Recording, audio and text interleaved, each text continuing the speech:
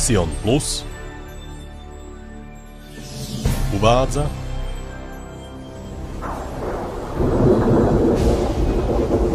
Dnešné udalosti sú neslychané. Rieky rýchlo stúpajú, neskrotné prúdy spôsobujú záplavy. Tisíce ľudí sú zásahom ničivých hurikánov bez elektriny a pitnej vody.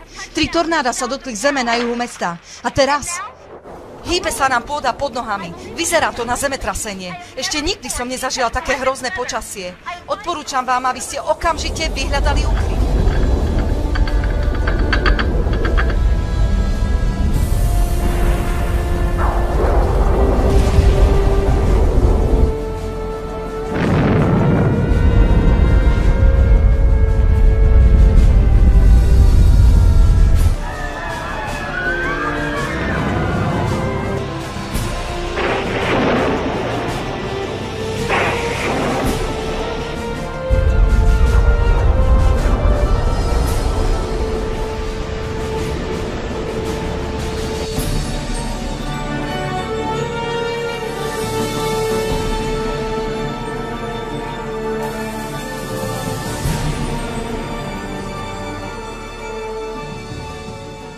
Aha, mami, tam je Ježiš.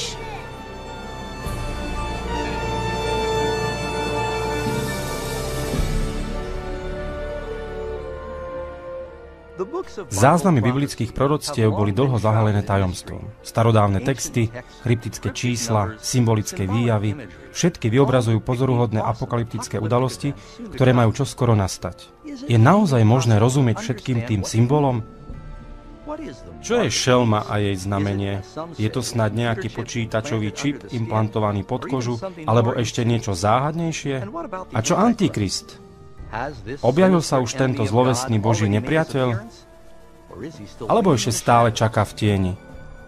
Spustí záverečné súženie nejaká teroristická udalosť? Budeme svetkami poslednej bitky známej ako Armagedon a siedmých posledných pohrôm? Čo potrebujeme vedieť, aby sme neboli zanechaní pri príchode Ježiša Krista? Rozpoznáme posledné dni ľudstva na tejto planéte? Vieme, na čo máme čakať? Poďme sa spolu pozrieť, čo hovorí Biblia. Kniha kníh o posledných udalostiach našej Zeme. Preskúmajte spolu so mnou úžasné fakty o budúcnosti ľudstva i tejto planéty v biblických proroctvách.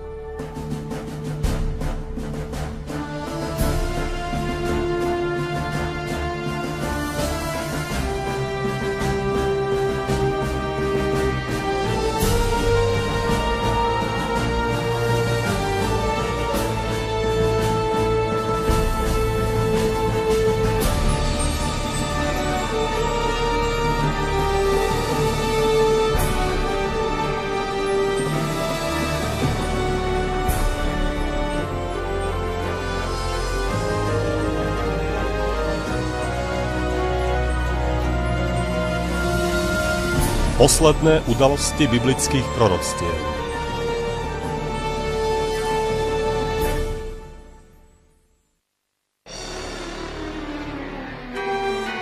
Záverečné znamenie.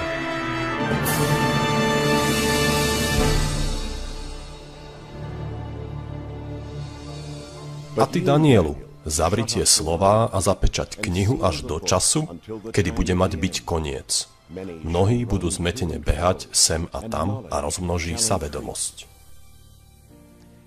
Koniec sveta. Naozaj k tomu dôjde? Ak áno, kedy? To sú tie najdôležitejšie a najzáhadnejšie otázky všetkých dôb. Biblický prorok Daniel jasne predpovedal, že tesne pred koncom sveta budeme svetkami dramatického nárastu poznania. Deje sa to?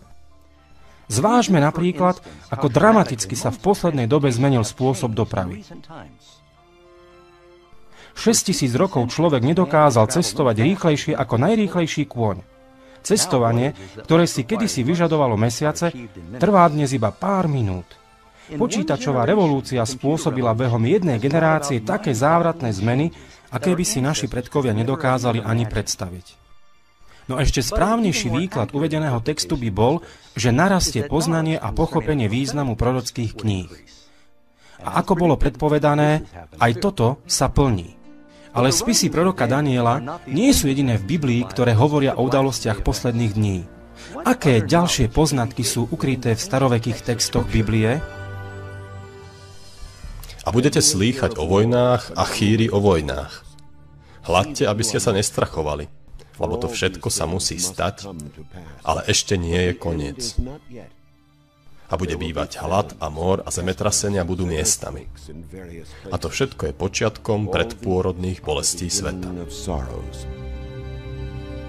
Keď sa len zbežne pozrieme na náš svet, vidíme, ako politické sily i prírodné živly menia moderný svet na nebezpečné miesto. Premýšľajme o tom.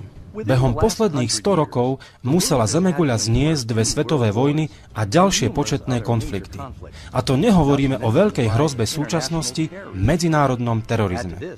Pridajte k tomu nápadné zvýšenie smrteľných prírodných katastrof, ako sú zemetrasenia, požiare, záplavy, tornáda, ničivé búrky a zmeny počasia. To všetko pre našu planétu znamená nebezpečné ohrozenie. Na podiv, už Apoštol Ján predpovedal, že jedným zo znamení poslednej doby bude schopnosť človeka zničiť planétu.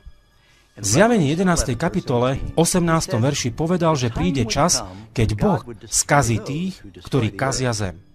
Je jasné, že toto proroctvo sa skutočne naplnilo. Po celé stáročia mohol človek na svojich nepriateľov na najvyš strieľať horiace šípy alebo vrhať delové gule. Ale teraz máme také devastujúce zbrane, ktoré môžu rýchlo vyhasiť všetok život na tejto planéte. Ježiš dokonca predpovedal, že keby jeho príchod bol odložený, nikto by neprežil.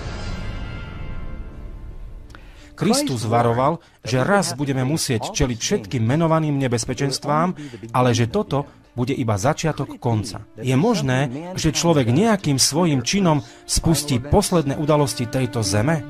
Ale to vec, že v posledných dňoch nastanú nebezpečné časy. Lebo to budú ľudia, ktorí budú milovať seba, milovať peniaze, chlúbiví, pyšní, rúhaví, rodičom neposlušní, nevďační, boha prázdny, bez lásky, nezmierlivý, pomluvačný, nezdržanlivý, krutý, opovrhujúci, dobrý. Nikto, kto prežil niekoľko posledných desaťročí, nemôže poprieť trvalý a strašný morálny prepad modernej spoločnosti. Každá generácia trvalo posúva hranice priateľného chovania. V dôsledku toho má každá ďalšia generácia nižšiu morálnu úroveň ako tá predchádzajúca. Zdá sa, že tento hanebný trend nemá konca. Za dní Noého viedol trvalý morálny úpadok ku globálnej skaze potopov. V Lótových dňoch viedla zvrhlá nemravnosť Sodomy a Gomory ku skaze týchto miest ohňom z neba.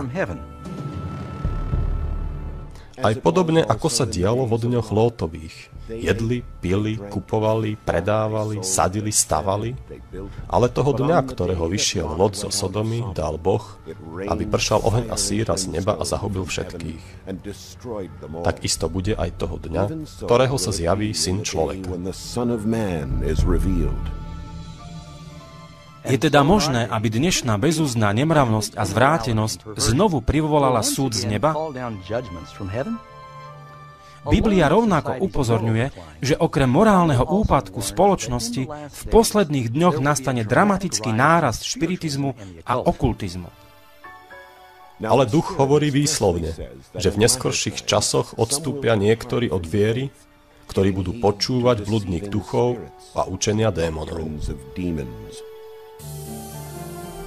Prax komunikovania s mŕtvými, ktorá bola v Biblii dávno zakázaná, sa rýchlo stáva priateľná aj v moderných cirkvách. Televízne programy a filmy podporujúce čarodejníctvo a okultizmus sa stali mimoriadne populárne, najmä medzi mladými ľuďmi. Napriek tomuto rozmachu špiritizmu a nemorálnosti nás Biblia učí, že tam, kde sa rozmáha hriech, o to viac prekypuje Božia milosť. A tak jedna úžasná svetlá stránka posledných dní je Ježišov sľub, že tesne pred jeho návratom sa evanelium o záchrane rozšíri do celého sveta. A toto evanielium kráľovstva bude hlásané po celom svete, na svedectvo všetkým národom a vtedy príde koniec. Predtým zdanlivo nesplniteľná úloha rozšíriť evanielium do všetkých štyroch svetových strán sa rýchlo stáva skutočnosťou. Prostredníctvom aktívnych misionárov, kníh, kaziet, satelitného vysielania a internetu sa evanelium rýchlo šíri po celom svete. Posolstvo o Božej záchrane sa nikdy nehlásalo v takom rozsahu ako dnes. Posolstvo Biblie jasne ukazuje, že žijeme v posledných dňoch Zeme. Rozmach poznania, globálna nestabilita, morálny úpadok a explozívny záujem o okultizmus, to všetko nasvedčuje, že koniec je blízko. Znamenia doby konca sa rýchlo naplňajú. Ale je tu ešte niečo. Biblia nás varuje, že protichodné sily dobra a zla nakoniec privedú svet do otvoreného konfliktu, ktorý Biblia nazýva Armagedon. Čo skoro môže nastať nejaká globálna kríza, ktorá celú planétu zatiahne do najhroznejších udalostí, aké sa na svete udiali lebo vtedy bude veľké súženie, akého nebolo od počiatku sveta až do teraz. Ani už nikdy viac nebude. Aká katastrofa môže spustiť túto záverečnú krízu a kedy sa to stane? Mohla by to byť nejaká teroristická akcia? Alebo medzinárodný ekonomický kolaps? možno dokonca zemetrasenie, asteroid alebo nejaká iná kataklizmatická udalosť, možno sa stane nejaké chemické nešťastie alebo smrteľná biologická pohroma, alebo snáď kombinácia týchto pohrom. Aj keď Biblia neodhaľuje presnú kritickú udalosť, odhaľuje dramatickú scénu toho, čo bude následovať. V ďalšom rozprávaní sa dozviete viac o týchto ohromujúcich a šokujúcich udalostiach, na ktoré nie je pripravená ani väčšina kresťanov.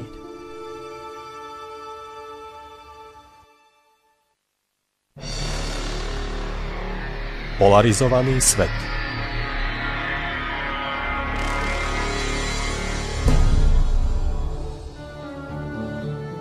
Keď začne doba veľkého súženia, svetoví vodcovia budú čeliť narastajúcemu počtu kalamít a krízových situácií. Medzi tým tí kresťania, ktorí budú verní Bohu, zakúsia nádherný príval moci od Ducha Svetého. Potom som videl iného aniela, zostupujúceho z neba, ktorý mal veľkú moc a zem bola osvietená od jeho slávy. Táto veľká moc, ktorá osvecuje Boží ľud, je moc Ducha Svetého so svetou odvahou budú svedčiť o Bohu, vyzývať cirkvi k reformácii a volať stratených ku Kristovi. Budú sa pevne držať Božieho slova a vyzývať všetkých, aby činili pokánie zo svojich hriechov a poslúchali Božie prikázania. Svetom sa šíri vlna duchovného prebudenia a Boží duch inšpiruje kazateľov a členov cirkvy, aby horlivo pracovali na záchrane ľudí. Zatiaľ, čo pôsobenie Božieho ducha silne, silnejú tiež prejavy okultizmu a špiritizmu. Zradné démonské sily sa mnohým zjavujú v podobe ich blízkych príbuzných, ktorí už zomreli, alebo ako biblickí svety z dávnoveku. Prihovárajú sa slovami pokoja a nádeje, ale pritom prezentujú doktríny, ktoré obsahujú nebezpečné lži. Biblia pred nimi varuje. Lebo sú to duchovia démonov, ktorí robia divy. Ako si iste dokážete predstaviť, tieto nadprirodzené prejavy majú na ľudí veľký vplyv a iba málo kto sa proti ním odváži pozvihnúť hlas. Rodiny a cirkvy doposiaľ neboli schopné zastaviť nárast globálneho zla. Uprostred politických, morálnych a ekologických hnutí ľudia zúfalo hľadajú efektívny spôsob, ako zastaviť rastúcu vlnu celkovej nemravnosti. Náboženskí a politickí vodcovia volajú pod tlakom trpiacich voličov po silnejších zákonných opatreniach, ktoré by obnovili princípy zbožnosti a mier zeme. Výsledkom tohto zavádzajúceho tlaku vláda vydáva zákony, ktoré obmedzujú náboženskú slobodu a sú v priamom rozpore s Božím zákonom. Ale toto nie je prvý prípad v histórii, kedy sa niečo také deje. Možno si spomínate na známy príbeh v knihe proroka Daniela v 3. kapitole, kde babylonský kráľ Nabuchodonozor prikázal všetkým svojim poddaným, aby sa klaňali jeho obrovskej zlatej soche, ktorú dal vyrobiť a uctievali ju. Avšak traja židovskí mládenci vedeli, že tento príkaz je v priamom rozpore s druhým prikázaním desatora, ktoré zakazuje modlárstvo. Odhodlaní zostať verní Bohu, odmietli sa pokloniť pred zlatou sochou. Kráľ sa rozúril a nariadil ich hodiť do ohnivej pece, Boh však zázračne zasiahol a zachránil ich život. V tejto knihe tiež čítame príbeh o Danielovi v jame plnej levov. Spomente si na perského kráľa, ktorý vydal zákon, že po dobu 30 dní nikto nesmie uctievať žiadneho boha, len jeho. Avšak Daniel vedel, že uposlúchnutie tohto príkazu by znamenalo porušenie prvého Božieho prikázania desatora. A tak statočne pokračoval vo svojom každodennom zvyku a modlil sa otvorene k Bohu i za cenu toho, že riskoval svoj život. Danielovi nepriatelia toto porušenie skoro ohlásili kráľovi, ktorý, aj keď nerád, nechal hodiť svojho dôveryhodného služobníka do jamy plnej levov. Ale aj teraz sa prijavila Božia moc, keď Boží anieli zázračne ušetrili Danielov život. Podobne to bude v posledných dňoch. Kniha Zjavenie Jána predpovedá, že zlá moc podneti vlády sveta, aby nariadili zákony určujúce spôsob uctievania Boha. Tieto zákony budú navonok vyzerať, ako by podporovali morálku, v skutočnosti však pripravujú svet na prijatie znamenia šelmy a antikrista lebo povstanú falošní kristovia a falošní proroci. Dajú veľké znamenia a budú robiť zázraky, takže by zviedli v blud, keby bolo možné, aj vyvolených. V tejto dobe rozširujúcej sa krízy, keď svet bude zúfalo volať o pomoc a hľadať globálnu stabilitu, sa objaví pomoc v tej najprekvapivejšej podobe. Na rôznych miestach sveta sa objavia správy. Ježiš prišiel. Vrátil sa náš Ježiš objaví sa žiariaca charizmatická bytosť, ktorá bude tvrdiť, že je Mesiáš, Boží syn. Možno sa zhromaždia všetky tlačové agentúry, aby videli túto nadprirodzenú bytosť, ako koná rôzne pôsobivé zázraky. Budú ho počuť opakovať mnohé slová, ktoré Ježiš vyslovil v Biblii. Táto udalosť bude vysielaná satelitmi do celého sveta a milióny ľudí milne uveria, že televízne zábery tohto Mesiáša sú naplnením biblickej predpovede, uvidí ho každé oko. Mnohých náboženstvách sa dychtivo očakáva prichádzajúci spasiteľ. A táto moderná, oslnivá bytosť bude vyzerať ako odpoveď na ich modlitby.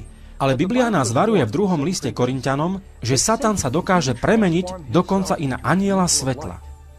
Ten, ktorého ľudia za týchto okolností uvítajú s otvorenou náručou, nebude Kristus, ale Satan maskujúci sa pod podobou Krista. Týmto činom bude diabol schopný spojiť ľudí na svete a vnútiť im svoj falošný systém bohoslužby.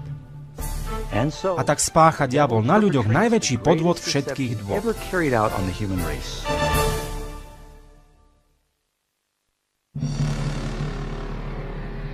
Koniec doby milosti.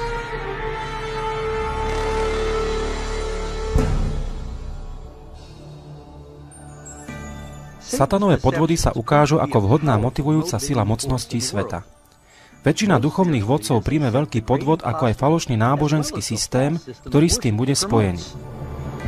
Tak ako sa budú zintenzívňovať globálne pohromy, cirkevní vodcovia nadobudnú presvedčenie, že nie je možné dlhšie čakať a že celý svet musí byť presvedčený, aby prijal učenie tohto podvodného mesiáša.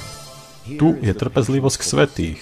Tu tí, ktorí ostríhajú prikázania Božie a vieru Ježišovu. Nie každý sa však nechá podviesť. Budú tu i jedinci, ktorí si uvedomia, že Biblia varovala pred týmto obdivuhodným klamom. Budú vedieť, že cieľom tohto podvodného mesiáša je odviesť ľudí od Božích prikázaní. Ale toto nebude prvý krát, kedy sa Satan objaví ako aniel svetla. Keď bol Kristus pokúšaný na púšti, ukázal sa mu Satan prezlečený za slávneho Božieho posla. Ako náhle však začal zvádzať Ježiša, aby jednal proti Božiemu slovu, diabol odhalil svoju pravú identitu. A tak sa diabol za použitia podobných taktík znovu pokúsi podviesť svet, aby sa postavil proti Božiemu zákonu. Nikto nemôže slúžiť dvom pánom, lebo buď jedného bude nenávidieť a druhého milovať, buď jedného sa bude pridržať a druhým pohrdať. Tu sa ukazuje, že svet bude postavený pred veľké rozhodnutie. Falošný Kristus a globálne spory rozdelia ľudstvo na dve odlišné skupiny. Na tých, ktorí nasledujú Boha a Bibliu a na tých, ktorí nasledujú šelmu. Srdcia ľudí budú naplnené obavami. Náboženské záležitosti budú hlavnou témou dňa v mysli každého človeka. V televíznych a rozhlasových diskusiách, v súdnych sporoch budú praví Boží nasledovníci postavení pred svetových vodcov. Budú uvádzať mocné a výstižné biblické dôvody pre svoj opozičný postoj voči falošnému systému bohoslužby, ktorý bude vnúcovaný masám ľudí. Predmetom každej diskusie budú Božie ustanovenia a podstata pravej bohoslužby. Pohnutý Duchom Svetým a presvedčivými biblickými dôkazmi Božích služobníkov, tisíce veriacich po celom svete opustia svoje bezduché cirkvy a postavia sa na stranu nepopulárnych, ale ozajstných nasledovníkov Krista. Celý svet rozdelí otázka. Máme poslúchať Boha alebo človeka? Populárne tradície alebo písmo svete? Na jednej strane budú tí, ktorí prijali Božiu pečať a na druhej strane zostanú tí, ktorí prijali znamenie šelmy, ako je to vyjadrené v Biblii. Kto robí neprávosť, nech len robí neprávosť ešte. A kto špiní, nech špiní ešte. A spravodlivý nech činí spravodlivosť ešte a svetý nech sa posvetí ešte. Tento text v knihe Zjavenia Jána predpovedá ďalšiu udalosť, keď každý muž, žena a dieťa urobia svoje konečné rozhodnutie pre alebo proti Kristom. Na Božej strane sú tí, ktorí verne stoja za jeho slovom napriek veľkej opozícii. Na druhej strane sú tí, ktorí prijali náboženské tradície ľudí. Práve tak, ako boli dvere Noachovej archy zapečatené tesne pred potopou, tak budú nakoniec zavreté dvere milosti pre svet a Božie odpustenie už nebude k dispozícii stratený. Druhý príchod Krista je blízko. No ešte predtým svet zakúsi najničivejšiu sériu pohrôm, ktorá sa vôbec objavila v dejinách ľudstva. A počul som z chrámu veľký hlas, ktorý hovoril siedmým anielom – Iďte a vylejte sedem čiaš hnevu Božieho na zem. Vtedy odišiel prvý a vylial svoju čašu na zem. A vyhodil sa odporný a zlý vred na ľuďoch, ktorí mali znamenie šelmy, aj na tých, ktorí sa klaňali jej obrazu. Nádej na zlepšenie vyprchá, keď na svet bude v rýchlom slede padať sedem posledných rán predpovedaných v knihe Zjavenia. Sú to tie najdesivejšie pohromy, aké ľudstvo zažilo alebo zažije. Prvá rana je veľmi bolestivá a hrozná. Keď prepukne, spôsobí bezbožným neznesiteľné utrpenie. Potom bude rýchlo nasledovať ďalších 6 ničivých pohrom. V oceánoch a riekach sa voda zmení na krv. Slnku bude daná sila upáliť ľudí prudkým žiarením. Keď bude padať jedna rana za druhou, spanikárených ľudí zachváti hrôza. V tej dobe niektorí verní nájdu úkryt na opustených a vzdialených miestach, kde ich budú chrániť a starať sa o nich Boží anieli. Iní budú uvrhnutí do nenavštevovaných väzníc. I keď budú zdanlivo zabudnutí zo strany ľudí, Boh na nich nezabudne. Boží verní sú chránení pred ranami rovnakým spôsobom, ako boli zachránení Izraeliti pred ranami, ktoré padli na Egypt. Vtedy budú verní prechádzať ťažkým vnútorným zápasom a skúmať svoje život. Myslov im prechádza otázka. Som vysporiadaný s Bohom? Nakoniec však nájdu pokoj mysle, keď sa s dôverou spoľahnú na Božie zaslúbenie. A drak sa rozhneval na ženu a odišiel bojovať s ostatnými z jej semena, ktorí zachovávajú prikázania Božie a majú svedectvo Ježiša Krista. Úbohy zatratení, presvedčení falošným mesiášom, nájdu jedinú nádej na úľavu pred ničiacimi ranami v tom, že budú odstraňovať tých, ktorí sú proti nim. A tak jedného dňa vyjde rozhodnutie vyhľadať a vyhubiť všetkých, ktorí sa neústupne držia učenia Biblie. Na duchovnom boisku budú stáť tí, ktorí nasledujú ľudské tradície a uctievajú šelmu proti tým, ktorí milujú Ježiša Krista a poslúchajú jeho prikázania. Toto je podľa proroctva posledná bitka Armagedon. Bezbožný svet napokon naplní mieru Božej trpezlivosti a nastane čas, aby Boh zasiahol a zachránil všetkých svojich verných.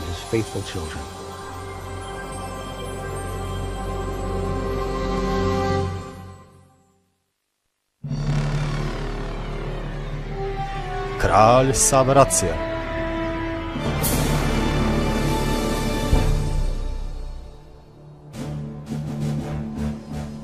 Ale o polnoci povstal krik.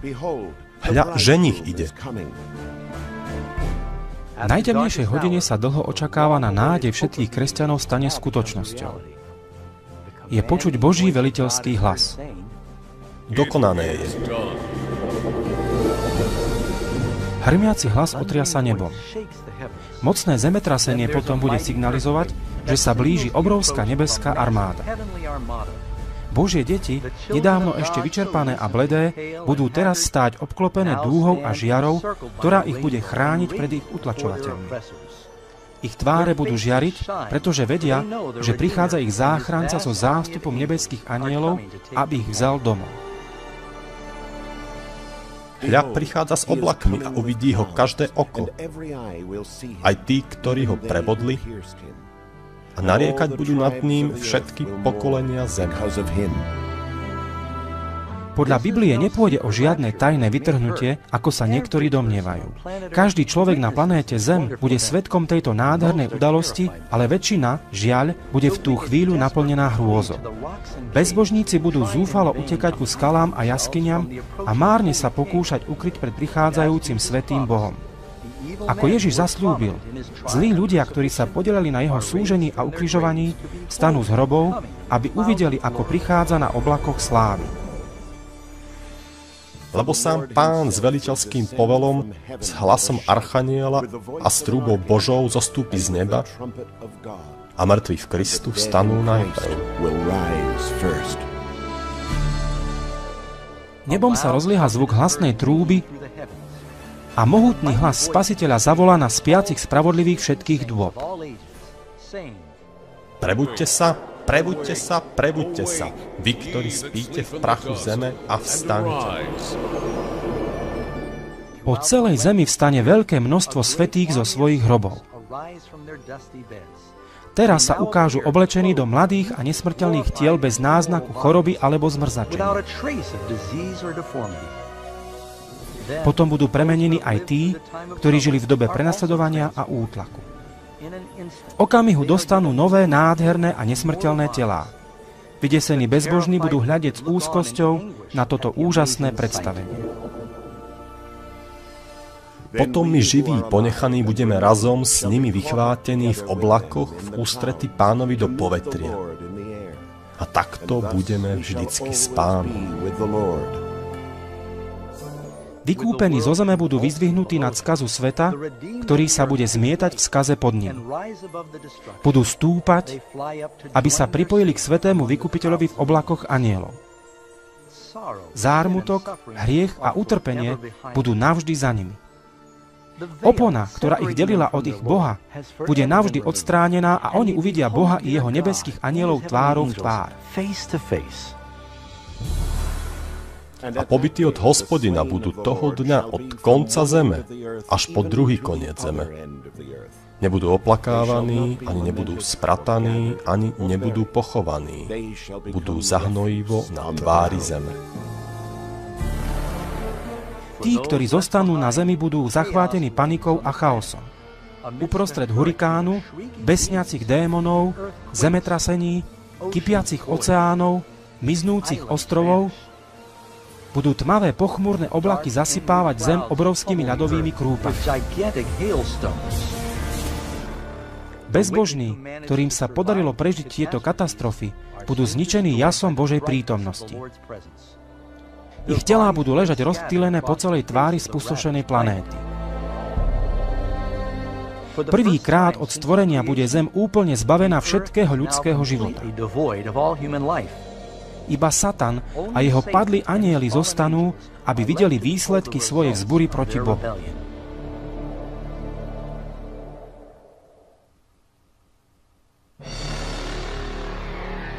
Milénium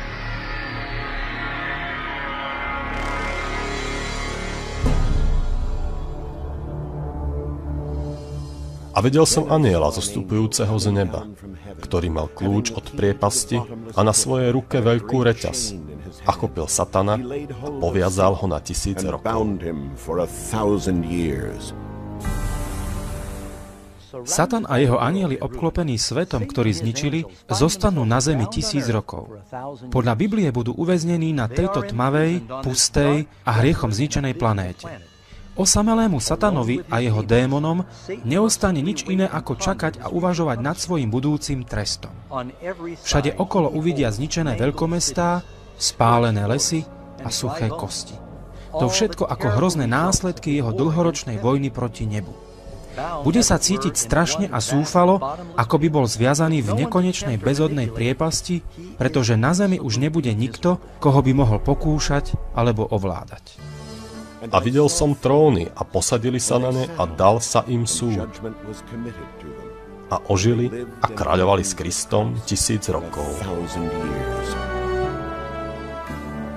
Zatiaľ, čo Satan bude ponechaný, aby premýšľal o svojom osude, vykúpení sa budú radovať z nevýslovnej krásy neba. Všetci sa stretnú so svojimi strážnymi anielmi, ktorí odpovedia na ich otázky týkajúce sa života na zemi. Potom ich Boh pri svojom dokonalom zjavení pozve, aby s ním spolupracovali ako sudcovia a otvorí pred nimi všetky záznamy o živote bezbožných. Vykúpení budú môcť úžasom sami vidieť, Prečo niektorí, ktorých očakávali v nebi, tam nie sú? Skryté myšlienky bezbožných teraz výjdu plne najavu. Zdvihne sa opona odhaľujúca duchovné boje, ktoré sa odohrávali kvôli každému človeku. Všetkým budú zrejme dokonca i činy a motívy padlých anielov. Vďaka tomu sa jasne ukáže otvorený a transparentný charakter Boha. Ako predpovedal Pavel v prvom liste Korintianom 6.2, zachránení sa budú podieľať na súde bezbožníkov. Skôr ako ktokoľvek z riešníkov príjme svoj konečný trest, bude jeho záznam starostlivo preskúmaný ľuďmi, ktorí sami prežívali duchovné zápasy života na zemi. Všetky slova a činy bezbožných budú posúdené podľa Božieho zákona. Potvrdí sa spravodlivosť ich rozsudku a určí miera ich trestu. Na konci tohto tisícročia sa Ježiš a jeho vykúpení pripravia na návrat na zem. Príde čas pre Satana, jeho anielov a bezbožných, aby čelili definitívnym dôsledkom svojich činov. Pokorní už skoro zdedia zem, ale Boh musí najprv vykonať konečnú fázu svojho súdu a očistiť vesmír od hriechu.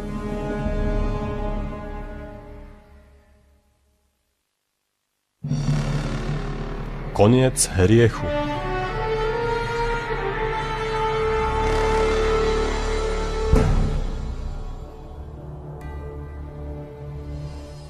A ja, Ján, som videl to sveté mesto, Nový Jeruzalem, zostupujúce od Boha z neba, prihotovené ako nevestu, ozdobenú jej mužovi.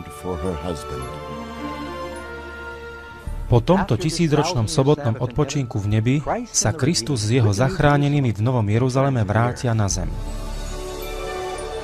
Keď sa bude sveté mesto približovať k pustej zemi, Ježiš prikáže mŕtvým bezbožným, aby vstali zo svojich hrobov. Na jeho slovo povstanú neobrátení zo všetkých dôb a miest a budú stáť pred Bohom. Bezbožní budú vzkriesení v rovnakom smrteľnom tele, ktoré mali pred svojou smrťou. Keď Ježiš zostúpi na túto zem, jeho nohy sa dotknú olivovej hory a obrovské zemetrasenie roztrhne horu a zmení ju na širokú rovinu.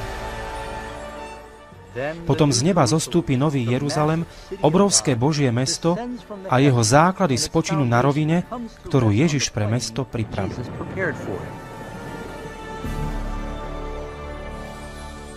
Keď sa dovrši tisíc rokov, bude Satan prepustený zo svojho väzenia a vyjde, aby oklamal národy, aby ich zhromaždil do boja. Prekvapivo, Satanovi sa ešte raz podarí zviesť svojich nasledovníkov. Zhromaždí ich, aby silou dobili nebeské mesto.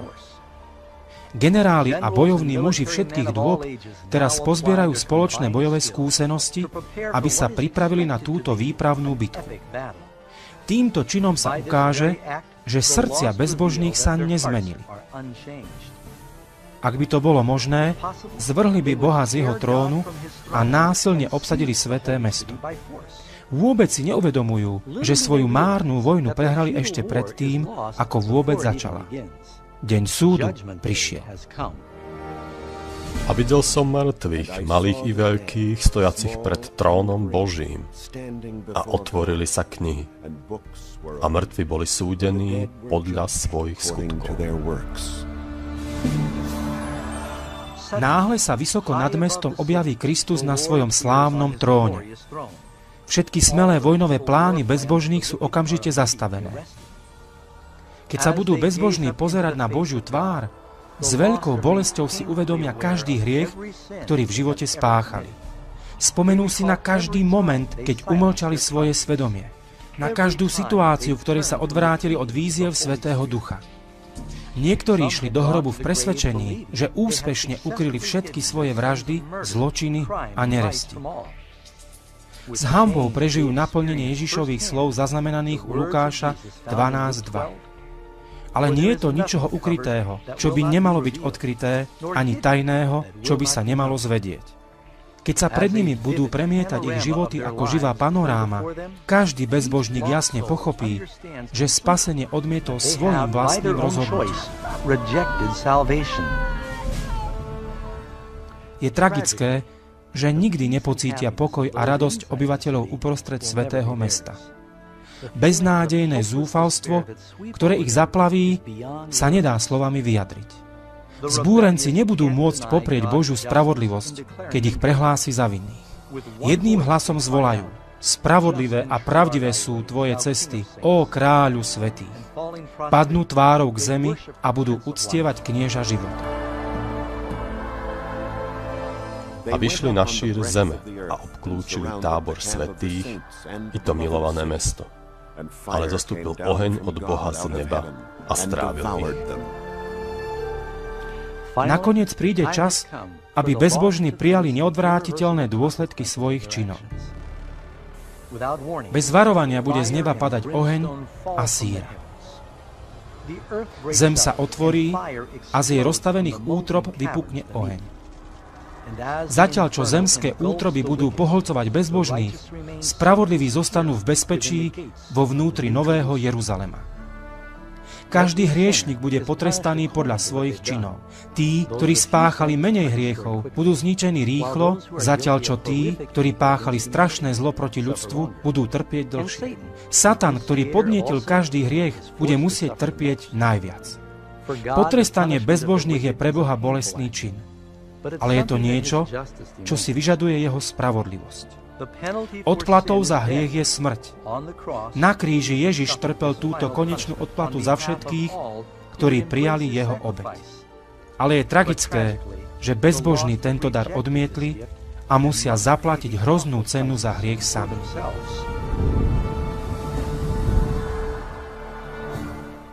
Lebo hľa, prichádza deň, ktorý horí ako pec, v ktorom budú všetci spurní a všetci, ktorí páchajú bezbožnosť slamov. Pošľapete bezbožných, lebo budú popolom pod vašimi nohami. Keď vychladne posledný popol trestu, občania vesmíru rozozvučia svoje hlasy a budú chváliť Boha za to, že navždy ukončil satanovú ríšu teroru. Keďže teraz je pokoj vesmíru naveky zaistený, Boh zameria svoju pozornosť na stvorenie nového neba a novej zeme.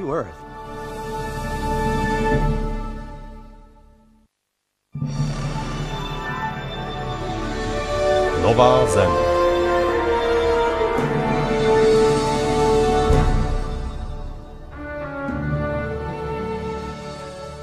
A videl som nové nebo a novú zem, lebo prvé nebo a prvá zem boli pominuli. Potom, keď bude zem očistená ohňom, Boh sa uchopí svojej nádhernej práce obnovy. Mocou svojho slova obnoví zem do jej pôvodnej rajskej krásy. Prehovorí a planétu pokrie koberec bohatej a bujnej vegetácie. Na jeho príkaz budú zem i vody opäť oplývať pulzujúcim životom. Nespočetné a veľkolepé stvorenia všetkého druhu budú pokojne skúmať nový raj. Osviežujúca atmosféra bude čistá a čerstvá. Zem sa stane znamenitou ukážkou božskej tvorivej práce. A Boh zotrie každú slzu z ich očí a smrti už viacej nebude, ani žalosti, ani kriku, ani bolesti viacej nebude, lebo prvé veci pominú. Bezpečnosť vesmíru bude dokonalá. Všetky stvorené bytosti príjmu Nový Jeruzalem ako svoje hlavné mesto a budú sa tešiť z milujúcej Božej vlády. Tí, ktorí boli zachránení od väčšnej záhuby, budú cítiť zvláštne puto so svojím stvoriteľom, ktoré nebudú poznať iné nebeské bytosti, ktoré na zemi nežili. Napriek tomu, že hriech i hriešnici boli navždy zničení, jedna stopa po veľkej zbure tu predsa zostane. Čo sa stalo s tvojou rukou? Sú to jazvy na rukách, nohách a boku Ježiša. Ako bude ubiehať jeden krásny deň väčšnosti za druhým, všetky smutné a bolestné spomienky sa rozptýlia v oslnevej nádhere. Božie deti, ktoré už nie sú obmedzené dĺžkou života, teraz slobodne naplnia svoje najznešenejšie túžby. The limitless pursuit of knowledge invigorates and stimulates the mind pretože už nebudú viazaní k zemi, budú môcť skúmať divy Božieho nekonečného vesmíru. Nebo je miestom dokonalého pokoja a harmónie, kde láska k Bohu a ďalším bytostiam naplňa každé srdce. Biblia sľubuje, že toto prichádzajúce kráľovstvo môže byť i vašim väčšným domovom. Ježiš sa obetoval na kríži, aby vám poskytol odpustenie a víťazstvo nad hriechom. Ježiš si nadovšetko praje, aby ste s ním mohli žiť na obnovenej zemi. Napriek tomu, že vás tak veľmi chce zachrániť, nemôže vám svoj dar vnútiť. Sami sa musíte rozhodnúť, či ho príjmete. Nechcete tak urobiť ešte dnes? Stačí ho o to požiadať a on vstúpi do vášho srdca.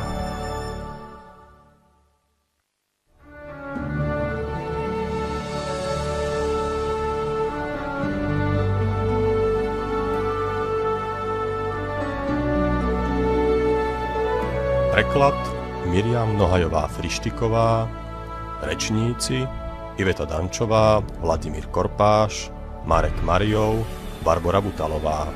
Strich Stanislav Šmida, réžia slovenského znenia Benjamin Virtus. Vyrobilo publikačné centrum Sion Plus, štúdio Košice.